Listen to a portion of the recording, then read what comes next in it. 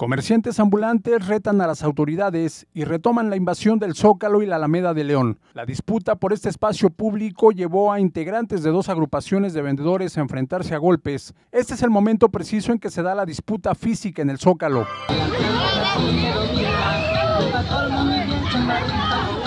Ninguna de las autoridades intervino para impedir la violencia y el apoderamiento de estas áreas. Los grupos de vendedores que nuevamente se apoderaron del centro de la ciudad de Oaxaca están ligados a la sección 22 del Sindicato Nacional de Trabajadores de la Educación.